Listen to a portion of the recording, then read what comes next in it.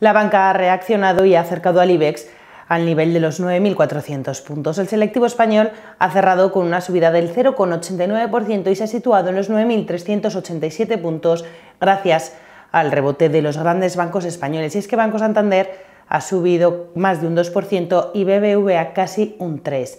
No obstante, el IBEX también se ha apoyado para registrar esta subida en valores importantes como Telefónica, que ha avanzado más de un 1%, y en Repsol, que se ha revalorizado un 0,57%.